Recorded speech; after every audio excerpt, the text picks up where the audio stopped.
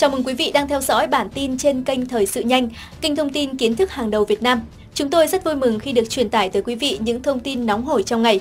Đừng rời mắt khỏi màn hình và sau đây là phần điểm tin chính. Số ca COVID-19 mới tăng kỷ lục, Việt Nam đã không thể đánh số thứ tự cho F0. Sở Y tế Hà Nội cần làm gì khi F0 tăng nhanh chóng mặt? Đà Nẵng vượt mốc hơn 1.000 F0 một ngày, thiếu nhân lực khu ICU. Quá khủng khiếp, Đắk Lắk ghi nhận gần 3.000 ca mắc Covid trong ngày. Bình Thuận, Bà Rịa Vũng Tàu đẩy nhanh tiêm vaccine khi số ca mắc Covid-19 tăng. Và sau đây là phần nội dung chi tiết. Xin mời quý vị và các bạn chú ý đón xem. Số ca Covid-19 mới tăng kỷ lục, Việt Nam đã không thể đánh số thứ tự cho F0. Thưa quý vị, với số mắc ít ỏi như trước đợt dịch thứ tư, mỗi ca mắc đều có kèm theo mã số bệnh nhân, tiền sử đi lại, tiếp xúc. Những ca bệnh này có rất nhiều người biết như bệnh nhân mã số 17, 19, 21, bệnh nhân 91 phi công người Anh. Nhưng với số mắc hàng ngày trong đợt dịch thứ tư, đặc biệt là những ngày gần đây đều rất cao, hàng trăm ngàn ca một ngày thì việc đánh số thứ tự từng ca có còn được thực hiện.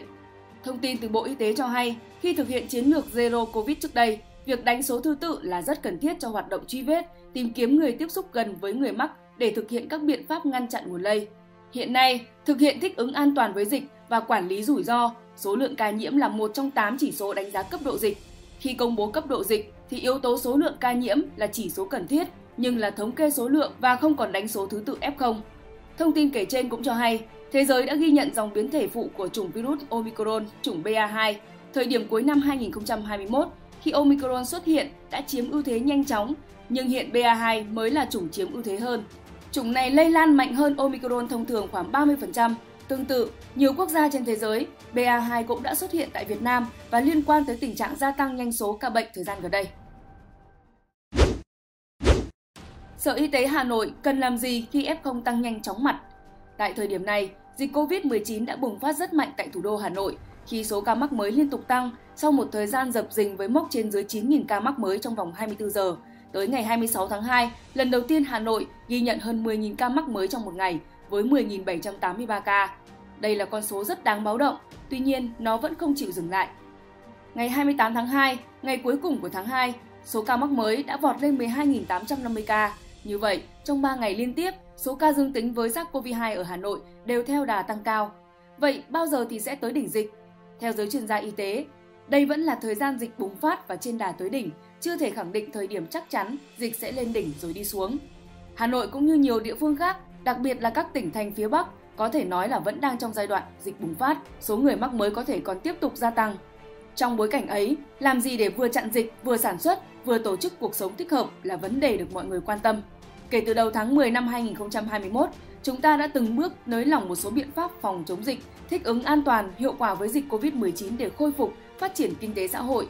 Đó là chủ trương đúng, nhận được sự hưởng ứng của người dân, cộng đồng doanh nghiệp. Tuy nhiên, khi dịch quay trở lại thì lại càng cần sự linh hoạt để ứng phó, không chủ quan nhưng cũng không quá sợ dịch. Thực tế cho thấy, số ca mắc mới tăng cao nhưng số người trở bệnh nặng ít, tỷ lệ tử vong cũng thấp, nhất là so với giai đoạn dịch từ tháng 5 đến tháng 9 năm 2021. Có được điều đó chính là do chúng ta đã thần tốc bao phủ vaccine toàn dân với tỷ lệ cao hàng đầu thế giới. Nhưng COVID-19 vẫn tồn tại một thách thức rất lớn. Bà Trần Thị Nhị Hà, Giám đốc Sở Y tế Hà Nội khuyến cáo người dân không hoang mang khi số ca mắc hàng ngày tăng mạnh. Tuy nhiên, cần tránh tâm lý chủ quan, chờ đợi rồi ai cũng là F0. Bà Hà cũng cho rằng giai đoạn này đánh giá mức độ nguy cơ cần thông qua tỷ lệ bệnh nhân vào viện, chuyển nặng, tử vong, khả năng đáp ứng của hệ thống y tế ở các tuyến, chứ không phải số ca mắc mỗi ngày. Hiện F0 điều trị tại nhà của Hà Nội chiếm 96%, chưa đến 4% người mắc điều trị ở tầng 2 và 3 của thành phố. Ngành y tế Hà Nội đã chuẩn bị được 2.180 giường cho bệnh nhân tầng 2, tầng 3 nhưng mới sử dụng khoảng 1.000 giường. Tuy nhiên, y tế cơ sở, phường xã thì đã quá tải vì số F0 cũng như số người điều trị tại nhà tăng nhanh. Tại cuộc họp ban chỉ đạo phòng chống dịch COVID-19 mới đây, Chủ tịch Ủy ban nhân dân thành phố Hà Nội Chu Ngọc Anh cho biết, diễn biến dịch bệnh đang rất phức tạp, 74 xã phường đã chuyển sang cấp độ 3, với số ca mắc mới tăng cao sẽ là thách thức, áp lực và khó khăn rất lớn đối với hệ thống y tế cơ sở nếu không kịp thời đưa ra các giải pháp công nghệ và nâng cao ý thức người dân. Sống chung với virus gây bệnh COVID-19 đó là quyết tâm lớn đòi hỏi ý thức tự bảo vệ của mỗi cá nhân, của cả cộng đồng. Cùng với vaccine thì việc thực hiện nghiêm chỉnh quy định 5K là hết sức quan trọng để chặn đà lây lan của virus, để dịch sớm được dập tắt. Đây cũng là thời điểm rất cần những quyết định đúng đắn, sáng suốt của ngành y tế cũng như chính quyền các cấp, các cơ quan đơn vị, doanh nghiệp và cũng là của từng cá nhân, từng gia đình. Thực tế cho thấy, cho dù các ca mắc mới gia tăng nhưng số người trở bệnh nặng ít, có thể tự điều trị các triệu chứng thì chỉ ít ngày là sức khỏe hồi phục và sau đó sẽ khỏi COVID-19 trong vòng từ 7 đến 10 ngày. Vì thế, có cần thiết không khi quá lo lắng áp dụng các biện pháp hạn chế khắt khe? Nếu quay lại với những biện pháp đó như đợt dịch bùng phát lần trước sẽ tạo ra những bất tiện, sản xuất kinh doanh bị đình đốn. Trong lúc tình hình dịch này đã khác, ít ca bệnh nặng và hệ thống y tế điều trị bệnh nhân COVID-19 cũng không bị quá tải. Tuy nhiên, nếu số ca mắc mới tăng cao thì cũng kéo theo số bệnh nhân phải điều trị tăng lên. Vì thế, lúc này cần bình tĩnh, áp dụng các biện pháp phòng chống để hạn chế số ca mắc mới, cùng đó là bảo vệ những người khỏe mạnh để tiếp tục làm việc để cuộc sống không bị đóng băng. Đà Nẵng vượt mốc hơn 1.000 F0 một ngày, thiếu nhân lực khu ICU. Kính thưa quý vị, Đà Nẵng đã vượt mốc hơn 1.000 ca mắc COVID-19 một ngày. Nhiều nơi đang chật vật xoay sở nguồn nhân lực để đáp ứng việc điều trị hỗ trợ. Trao đổi với bản tin 247, bác sĩ Lê Đức Nhân, giám đốc bệnh viện Đà Nẵng cho hay, bệnh viện giã chiến đang điều trị hơn 700 ca nhiễm COVID-19, trong đó có gần 200 ca nặng, nhiều ca nằm ở khu ICU, chăm sóc đặc biệt. Các trường hợp này đòi hỏi phải theo dõi sát sao để xử lý kịp thời. Do vậy, cần nhân lực nhiều. Mặt khác, hiện các bệnh viện thực hiện mô hình bệnh viện tách đôi, vừa khám chữa bệnh thông thường, vừa tiếp nhận điều trị bệnh nhân COVID-19 nên không thể huy động nhân lực từ đây lên bệnh viện giã chiến. Bệnh viện đang rất cần nguồn nhân lực ICU, các bác sĩ được đào tạo, huấn luyện có kỹ năng theo dõi, chăm sóc bệnh nhân nguy cơ cao. Theo Phó Chủ tịch Ủy ban Nhân dân thành phố Đà Nẵng Ngô Thị Kim Yến cho biết, trên địa bàn có 15 cơ sở y tế tham gia điều trị bệnh nhân COVID-19, nhưng chủ yếu là các ca nhẹ và trung bình. Hiện thành phố đang rất khó khăn về lực lượng y tế. Nếu các bệnh viện không điều trị ca nặng thì phải hỗ trợ nhân lực ICU cho bệnh viện giã chiến. Nếu không, bệnh viện giã chiến sẽ không có nhân lực. Một là bệnh viện điều trị ca nặng, nếu không điều trị ca nặng, chuyển lên bệnh viện giã chiến thì phải gửi người lên, bà Yến nói. Trung tâm Y tế quận Thanh Khê cho hay, hiện quận có gần 6.500 F0 đang điều trị tại nhà, riêng phường An Khê hơn 1.400 ca. Số lượng F0 tăng cao, cộng thêm việc đội ngũ y tế học đường bị rút về khi học sinh đi học lại. Số nhân viên y tế bị nhiễm COVID-19 nhiều, tạo áp lực rất lớn. Lực lượng y tế không đủ để chăm sóc F0 cũng như thực hiện việc tiêm vaccine phòng COVID-19. Sở Y tế Đà Nẵng đã thống nhất phương án phân nhỏ đối tượng cách ly, điều trị tại nhà. Sở Y tế Đà Nẵng đã thống nhất phương án phân nhỏ đối tượng cách ly, điều trị tại nhà thành hai nhóm, gồm nhóm nguy cơ và nhóm không có nguy cơ. Đối với nhóm có nguy cơ, lực lượng y tế địa phương có nhiệm vụ theo sát để hỗ trợ về chuyên môn, tránh để bệnh nhân chuyển nặng. Bà Yến lưu ý, Sở Y tế cần xem xét, cân nhắc việc xác nhận F0 theo hướng để người dân tự lấy mẫu qua giám sát của nhân viên y tế để giảm tải cho các trạm. Quá khủng khiếp, Đắk Lắk ghi nhận gần 3.000 ca mắc COVID-19 trong ngày. Kính thưa quý vị, thông tin từ ngành y tế tỉnh Đắk Lắk cho biết, trên địa bàn vừa ghi nhận thêm 2.915 trường hợp mắc COVID-19. Đây là số ca mắc 19 trong ngày cao nhất từ trước đến nay tại tỉnh Đắk Lắk. Trong đó, có 2.309 trường hợp ghi nhận trong cộng đồng, gồm thành phố Buôn Ma Thuột 1.165 ca, huyện Crong Park 184 ca, huyện Cư Mờ Ga 162 ca, huyện Cư Khun 136 ca, huyện Crong Năng 119 ca, huyện Ia Khap 93 ca, huyện Buôn Đôn 77 ca, huyện Ia Hơ Leo 77 ca, huyện Crong Anna 67 ca, huyện Crong Bông 55 ca, huyện Ia Súp 50 ca, huyện Em Drak 49 ca, thị xã Buôn Hồ 41 ca, huyện Lắc 17 ca. Bên cạnh đó, có 595 trường hợp ghi nhận cách ly tại nhà, gồm thị xã Buôn Hồ 105 ca, huyện Crong Năng 65 ca, huyện Lắc 53 ca, huyện Crong Bông 51 ca, huyện Crong Bắc 48 ca, huyện Cư Mờ Ga 47 ca, huyện Ia Kha 41 ca, huyện Emdorak 37 ca, huyện Crong Búc 36 ca, huyện Crong Anna 33 ca, huyện Ia Hơ Leo 30 ca, huyện Ia Súp 19 ca, thành phố Buôn Ma Thuật 17 ca, huyện Cư Khun 9 ca, huyện Buôn Đôn 4 ca.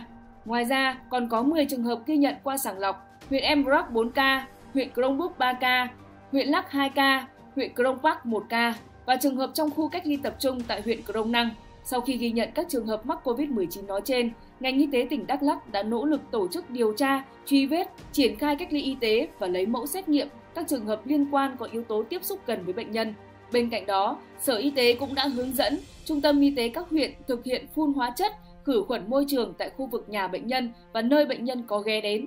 đồng thời phản hồi thông tin cho các đơn vị liên quan để giám sát, truy vết các trường hợp tiếp xúc trong quá trình đi lại của bệnh nhân. Ngoài ra, ngành y tế cũng tiến hành theo dõi diễn biến điều trị bệnh nhân COVID-19 thường xuyên, đặc biệt công tác chăm sóc điều trị cho các bệnh nhân chuyển mức độ bệnh nhằm giảm thấp tỷ lệ tử vong ở bệnh nhân COVID-19. Như vậy, tính đến chiều ngày 4 tháng 3, tỉnh Đắk Lắk đã ghi nhận tổng cộng 46.771 trường hợp mắc COVID-19, trong đó đang điều trị 20.738 trường hợp, 25.909 bệnh nhân đã điều trị khỏi bệnh và 124 trường hợp tử vong. Bình Thuận, Bà Rịa Vũng Tàu đẩy nhanh tiêm vaccine khi số ca mắc COVID-19 tăng. Thưa quý vị, Ủy ban Nhân dân tỉnh Bình Thuận cho biết đã có văn bản gửi các đơn vị liên quan khẩn trương tiêm vaccine và thực hiện các biện pháp phòng chống dịch COVID-19 trên địa bàn. Theo đó, tỉnh Bình Thuận yêu cầu Sở Y tế, Ủy ban Nhân dân các huyện, thị xã, thành phố tăng cường và thần tốc hơn nữa việc tổ chức tiêm vaccine cho người dân. Cụ thể, chậm nhất đến ngày 31 tháng 3 phải hoàn thành tiêm mũi thứ ba cho người từ 18 tuổi trở lên, bao gồm tiêm mũi bổ sung và tiêm mũi nhắc lại, đảm bảo 100% trẻ em đủ 12 tuổi được tiêm mũi 1. Sau 21 đến 28 ngày phải tiêm đủ mũi 2, xây dựng kế hoạch, chuẩn bị sẵn sàng mọi điều kiện về cơ sở vật chất, trang thiết bị, phương tiện bảo quản, địa điểm, nhân lực để tiêm chủng cho trẻ em từ 5 tuổi đến dưới 12 tuổi ngay sau khi được cung ứng vaccine. Ủy ban Nhân dân tỉnh Bình Thuận yêu cầu các đơn vị ra soát, tổ chức thực hiện tiêm vaccine an toàn, khoa học, hợp lý, hiệu quả theo hướng dẫn của Bộ Y tế, bố trí các điểm tiêm chủng tập trung, lưu động tại nhà một cách khoa học, linh hoạt để mọi đối tượng được tiêm chủng miễn phí, đúng quy định, đặc biệt quan tâm đến người cao tuổi, người có bệnh nền, không đi lại được, người có hoàn cảnh khó khăn, người yếu thế. Đồng thời, đẩy mạnh tuyên truyền, vận động những người chưa tiêm hoặc chưa tiêm đủ, các bậc phụ huynh khẩn trương, tích cực cho con em đi tiêm chủng kịp thời, an toàn, hiệu quả, đúng quy định. Sở Giáo dục và Đào tạo được chỉ đạo các cơ sở giáo dục tổ chức khảo sát, lập danh sách các học sinh trên địa bàn có người thân sống chung một nhà, đang có bệnh nền, người cao tuổi để quản lý kết quả thực hiện trước ngày 10 tháng 3 năm 2022. Qua đó, cung cấp danh sách và phối hợp với các cơ quan y tế địa phương để theo dõi, chăm sóc riêng khi có học sinh mắc COVID-19. Tương tự, Ban chỉ đạo phòng chống dịch COVID-19 tỉnh Bà Rịa Vũng Tàu cho biết, dù toàn tỉnh đã tiêm phủ vaccine, nhưng nếu không đảm bảo các yêu cầu phòng chống dịch thì vẫn có nguy cơ bị lây nhiễm và những người đã tiêm nhưng bị mắc COVID-19 vẫn có thể để lại những biến chứng cho cơ thể về lâu dài. Đặc biệt, những người không tiêm vaccine COVID-19 tử vong trong thời gian qua trên địa bàn tỉnh chiếm 60%. Do đó, Ban chỉ đạo phòng chống dịch COVID-19 tỉnh Bà Rịa Vũng Tàu yêu cầu người dân hãy tiêm vaccine phòng COVID-19 để bảo vệ sức khỏe bản thân và cộng đồng.